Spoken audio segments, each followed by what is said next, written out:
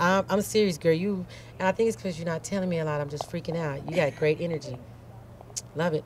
All right. Anyway, hey guys, uh, I'm sitting here with Lamar. Uh, he's uh, he's an early pioneer for his age. Actually, he's deep in the game for my age, but he's only been doing it two years. So uh, yeah, Lamar is an early pioneer in something real deep. So I'm gonna pass the mic to Lamar, and he's gonna tell you about some uh, really exciting things coming in the near future. So here we go, Lamar. Okay.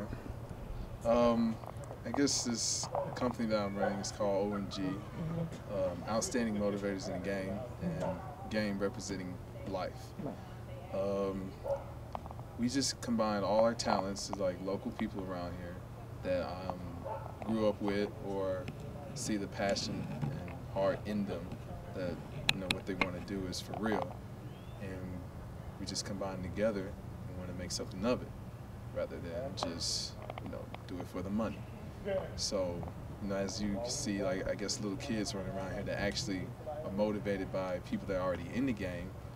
I mean, you ain't gotta really be in the game to motivate. So,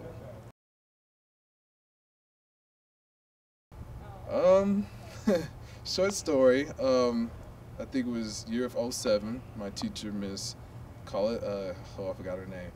Miss Holbrook. Um, she had an assignment that had to do with Photoshop and we were making buttons. And I was so I was already fascinated with colors, but as we were making the buttons, it just clicked. Like I just I kept going. She only had to make like four different buttons, but I ended up making 12 and sending them to her because I just love doing them.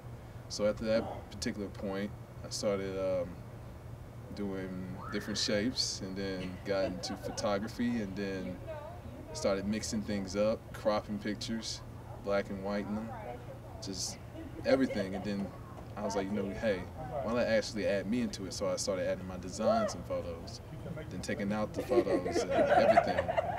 And from there, I think that's what got me here.